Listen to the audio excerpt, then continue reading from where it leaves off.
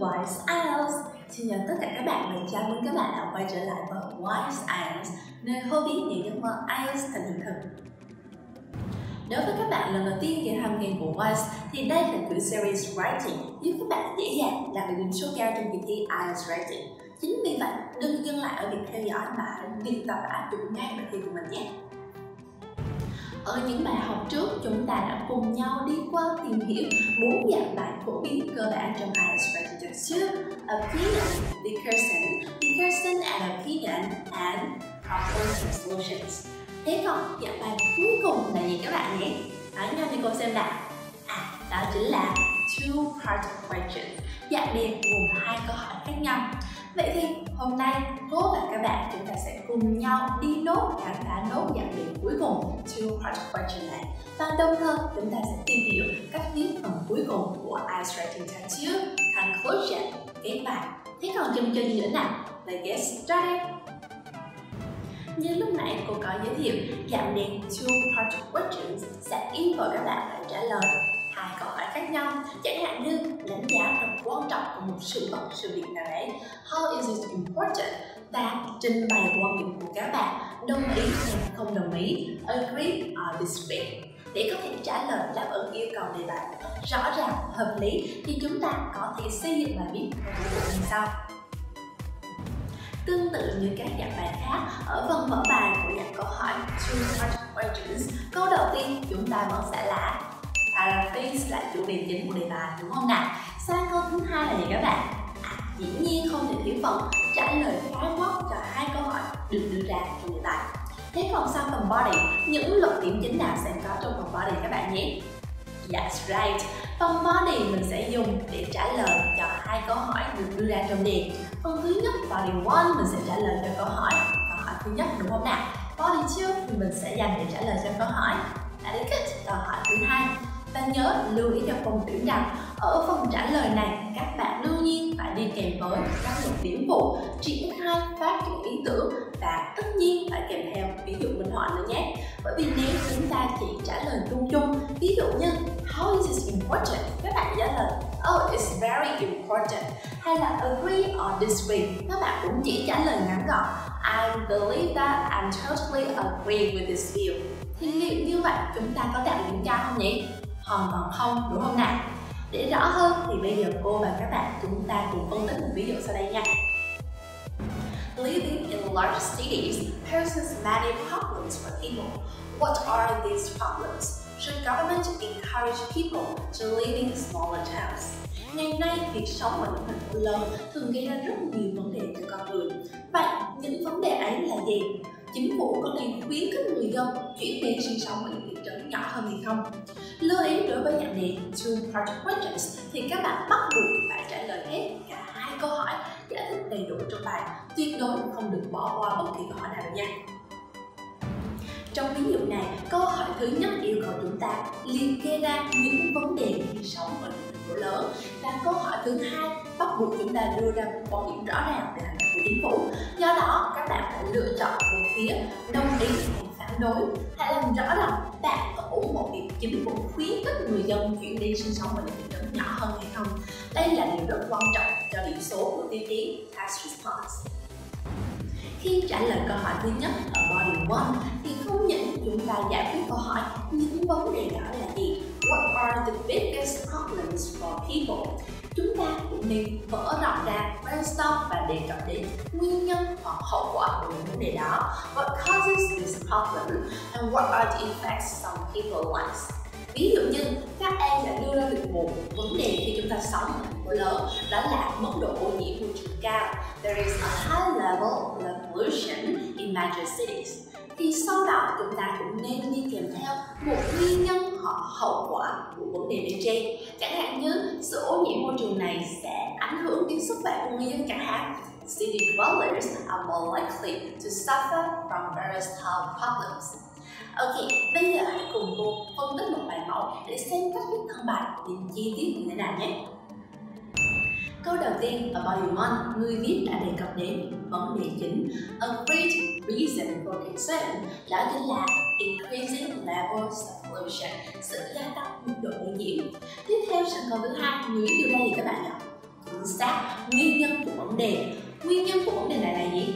Owing to a high volume of ờ, everyday traffic massive quantities of pollutants, bởi vì khí thải hàng ngày từ các phương tiện giao thông công cộng đúng không nào? Tiếp đến điều này sẽ dẫn đến gì degradation of air quality sự suy giảm chất lượng không khí.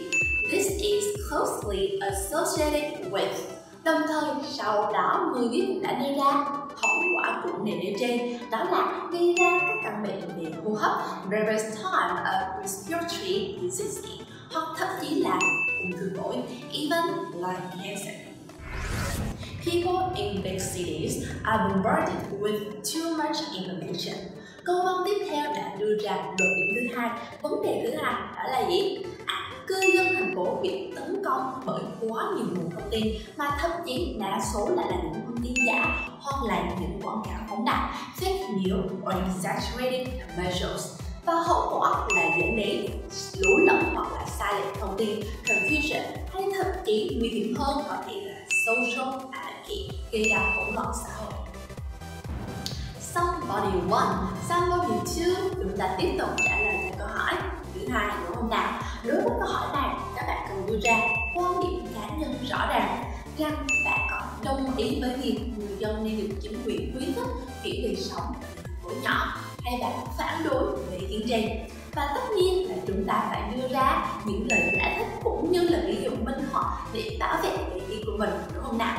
Chẳng hạn như khi bạn đồng ý thì bên cạnh việc nói tôi đồng ý chúng ta phải đưa ra thêm những lợi ích của việc sinh sống ở những thành phố nhỏ hơn. Ví dụ như là gì? À, đời sống ở đây yên bình sẽ tốt hơn cho sức khỏe con người.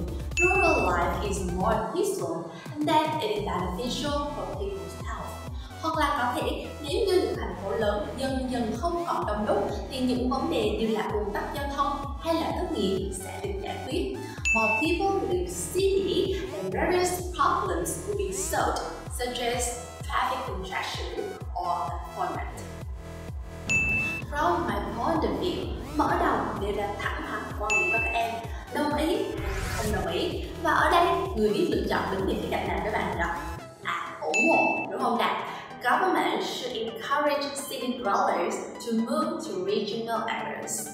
First, luận cứ đầu tiên đã được đưa ra, điều này sẽ làm giảm đi lưu lượng phương giao thông, reduce the number of vehicles in cities và đồng thời cũng sẽ cải thiện mức độ ô nhiễm không khí. Furthermore, luận cứ thứ hai cũng đã được đưa ra. Sống ở nơi chật chội một ngạt trong thành phố, living reluctantly in small, suffocating spaces khiến cho rất ít người thành thị có thể giải tỏa được căng thẳng, relieve the pressure. Bởi nên, không gian sống có tầm quan trọng đối với sức khỏe tinh thần của con người. Living spaces are linked to people's mental health. Vậy là chúng ta vừa tìm hiểu xong phần thân bài của dạng đề Two Part Questions. Gồm cả hai bài học trước thì chúng ta đã xử lý gọn gẽ cả năm dạng đề thường gặp nhất trong IELTS Writing Tattoo. Xong phần mở bài, xong phần thân bài thì tiếp theo sẽ đến phần gì các bạn nhỉ? Exactly, đó chính là conclusion, kết bài của hôm nào? Rồi bây giờ hãy cùng cô điểm qua một số điều cần ghi nhớ để có thể viết một đoạn kết bài chuẩn không thường chỉnh các bạn nhé. Đầu tiên, một phần kết bài tốt phải tóm tắt những luận điểm chính đã được triển khai trong phần thân bài. Có thể nói, kết bài là phần dễ viết nhất vì chúng ta chỉ cần lấy lại những ý kiến đã được đề cập trong đó. Dù vậy thì cũng không nên lơ là chủ quan mà hãy luyện tập một cách nghiêm túc chỉnh chu để chúng ta có được một bài viết tốt toàn diện các bạn nhé. Thông thường sau khi dành thời gian lớn để tìm hiểu đề, lấy những ý tưởng viết mở bài, thân bài thì chúng ta chỉ còn vỏn vẹn một vài phút dành cho phần kết bài. Vì vậy, việc luyện tập viết một kết bài vừa nhanh vừa hay là một việc hết sức quan trọng và cũng đừng quên luôn luôn hoàn thành bài viết với phần kết bài các bạn nhé. Always complete your essay with the conclusion. Cố gắng luyện tập để cân đối thời gian, làm sao cho bài viết của mình có đủ 3 phần mở bài, thân bài và kết bài nếu không thì các bạn sẽ rất khó để có thể đạt được B6 trở lên cho tiêu chí Pass Response. Vậy thì một phần kết bài đến 5, 6, 7 khác nhau như thế nào? Cùng xem qua bảng Pass Response ở đây nhé. Nếu bài viết chỉ thể hiện quan điểm cá nhân, phần phần phát triển ý chưa được rõ ràng, không có kết bài thì chỉ có thể đạt được là năm của các bạn nha. So again, always complete your essay with a conclusion. Không bao giờ được bỏ vào phần kết bài nữa nhé. Cao hơn một tí chúng ta có phần 6 Kết quả là đạt được khi bài làm cũng thể hiện được ý kiến cá nhân phù hợp. Tuy nhiên phần kết bài vẫn chưa được rõ ràng hoặc là bị lặp ý Từ hai phần mô tả bên này chúng ta có thể rút ra được hai điều cần lưu ý sau đây. Thứ nhất, không bao giờ được viết bất kỳ idea mới nào vào trong kết bài. Never write any new ideas in your conclusion. Phần cách bài luôn luôn chỉ đơn giản là khẳng định lại những ý mà bạn đã triển khai từ phía trên. Thứ hai là gì? Hãy chắc chắn rằng bạn trả lời lại một lần nữa các câu hỏi được bạn đưa ra. Để đạt được bên bảy thì việc trình bày một quan điểm rõ ràng, xuyên suốt cả ba phần bài viết là một việc cực kỳ cực kỳ quan trọng. Cho nên hãy nhớ trả lời câu hỏi và nêu ra quan điểm cá nhân nếu để bạn có yêu cầu. Ở cả ba phần bài các bạn nhé để có thể take your IELTS rating to the next level bằng cách đạt được là điểm cao hơn. Thì bây giờ các bạn cùng vô chúng ta điểm qua ba điều cần lưu ý sau đây nhé. Thứ nhất, hãy linh hoạt sử dụng từ ngữ một cách phong phú very your language. Việc khẳng định lại những ý đã nêu ở phần trước, không có nghĩa là chúng ta sử dụng từ ngữ y hệt như vậy, mà thay vào đó hãy thể hiện cho giám khảo thấy khả năng của từ vựng phong phú các em bằng cách sử dụng phương pháp paraphrasing. Xuyên suốt 3 bài học trước và cả bài học hôm nay, cô luôn cung cấp cho các bạn đa dạng từ vựng hay ho dành cho writing test tutor phải không nào? Lưu ý tiếp theo, đừng cố nén toàn bộ nội dung bài viết lại và phần thân bài. Chỉ cần một câu thôi là đã đủ rồi.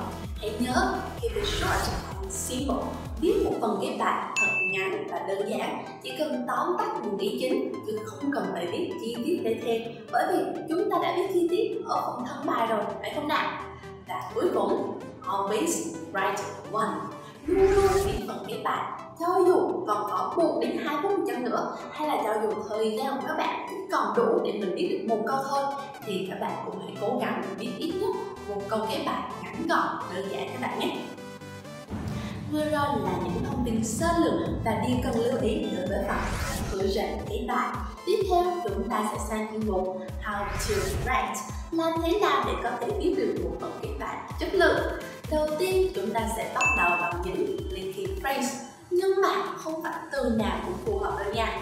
Xem qua một vài ví dụ như thế này, các bạn hãy chọn ra cho cô xem trong năm từ này thì từ nào là phù hợp để chúng ta bắt đầu viết phần kết bài nhé đầu tiên, finally. Finally như thế nào các bạn ạ? Có dùng được không? Finally. Không thật sự phù hợp để chúng ta đưa vào phần conclusion. Sử dụng finally giống như là bạn đang giới thiệu phần luận điểm cuối cùng, đồng nghĩa với việc chúng ta đưa ra một cái điểm mới, đúng không nào? Cho nên, finally chỉ phù hợp đối với body thôi các bạn nhé. Tiếp tục đến với in a nutshell thì sao nhỉ? Quá informal không trang trọng, cho nên mình không sử dụng trong IELTS Writing Test 2 Tiếp tục cụm in general. In general có vẻ như là đang làm cho người đọc hiểu rằng bạn sẽ giới thiệu sơ qua một chút về một chủ đề nào đó. Đây có phải là điều mình cần làm trong phần conclusion không? Không hề, đúng không nào? Như vậy còn lại hai cụm cuối cùng. In conclusion và to conclude là hai cụm từ rất phù hợp để có thể tóm gọn nội dung bài viết cũng vô hồ nữa đúng không nào? Và ở phần cuối cùng của bài học ngày hôm nay, cô sẽ đưa cho các bạn những cấu trúc các bài mẫu cho từng dạng đề một. Các bạn hãy hứa là tập trung và theo dõi đến cuối bài nhé. Đầu tiên, đoạn viết bài của dạng và kiên dạng có thể được viết như sau. Người viết cần khẳng định lại quan điểm cá nhân các bạn đối với vấn đề nêu trên là đồng ý hay không đồng ý. For the reason mentioned above, plead that. Hoặc là in conclusion, I believe that, I do not believe that. Trong khi đó, phần kết bài của dạng discussion có nội dung như sau. In conclusion, it is evident, obvious, apparent that both and advantageous, beneficial in their own ways.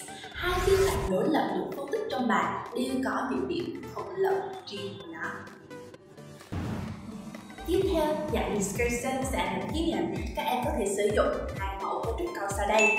In conclusion, there are convincing arguments both for and against the topic, but I believe that Mặc dù vấn đề này gây ra cả những ủng hộ và tranh cãi, nhưng tôi tin rằng hoặc là các bạn có thể sử dụng cấu trúc thứ hai. In conclusion, I would argue that the benefits and drawbacks of the topic outweigh the drawbacks of that benefit. Có thể khẳng định lại một lần nữa một mặt của vấn đề, điểm bất lợi hay điểm thuận lợi của vấn đề sẽ lấn át nổi trội hơn mặt còn lại. Hoặc nếu như đưa ra một ý kiến trung lập thì chúng ta phải làm thế nào đối phần kết bài? Rất là dễ, các em hoàn toàn có thể sử dụng lại bộ cấu trúc câu mà chúng ta đã sử dụng ở dạng đề discussion. In conclusion, it is evident, apparent, obvious that both and are advantageous, beneficial in the old ways. Tiếp theo, những gợi ý sau có thể được sử dụng cho phần viết bài của dạng đề Problems and Solution. In conclusion, it is clear that there are various reasons for or why and steps need to be taken to tackle this problem. Chúng ta có thể tóm tắt rằng có nhiều nguyên nhân cho vấn đề này và có những biện pháp đã được đề ra để giải quyết vấn đề trên. Hoặc là để sáng tạo hơn, các bạn có thể đảo ngược trật tự. In conclusion, various major steps can be done, taken, applied thematic to tackle, mitigate the problem that arises rằng có nhiều giải pháp có thể được áp dụng để giải quyết cho vấn đề xảy ra bởi vì lý do nguyên nhân nào đó. Và cuối cùng, dạng đề two part questions yêu cầu các em tóm tắt ngắn gọn hai câu trả lời tương ứng với hai câu hỏi mà đề bài đưa ra sử dụng linking phrase in conclusion và sau đó chúng ta sẽ summarize the answer to both questions. Alright, that's all for today. Hôm nay cũng là một tập khá là đặc biệt bởi vì Yes, đây đã là tập cuối của chuỗi IELTS Writing theo đội ngũ của Wise Resort. Tôi hy vọng sau chuỗi series Writing này thì Writing sẽ không còn là nỗi ám ảnh của chúng ta nữa bởi vì cách lên bài, ý tưởng như thế nào, lập dàn bài ra sao, phân tích đề bài như thế nào, biểu đồ này thì đi sử dụng câu gì, dạng đề này thì đi còn cấu trúc bài như thế nào tất cả đều đã được cô tiết lộ và hướng dẫn vô cùng kỹ lưỡng và chi tiết ở xuyên suốt những bài học vừa rồi. Đúng không nào Ngoài chuyên mục writing thì cả ba kỹ năng còn lại và cả những kiến thức IELTS của ích vẫn sẽ luôn được đội ngũ của Wise Resort cập nhật kỹ lưỡng và gửi đến các bạn những tác phẩm xuất sắc nhất. Một lần nữa, cảm ơn các bạn vì đã đồng hành cùng cô trong suốt chặng đường writing vừa qua. Chúng ta hãy cùng nhau cố gắng và nỗ lực hơn nữa vì một mục tiêu IELTS thật cao các bạn nhé. Practice makes perfect. Và cuối cùng vẫn là lời chào rất quen thuộc. Nếu thấy hay và bổ ích thì các bạn ơi đừng ngần ngại tặng ngay một like và subscribe cho kênh của Wise IELTS. Nhớ bấm chuông để nhận được thông tin IELTS bổ ích mỗi ngày và cũng đừng quên để lại những comment bên dưới để Wise biết xin các bạn là gì nhé. Mọi sự yêu thương các bạn thì là động lực tuyệt vời dành cho đội ngũ Wise. Còn bây giờ, thank you and bye for now.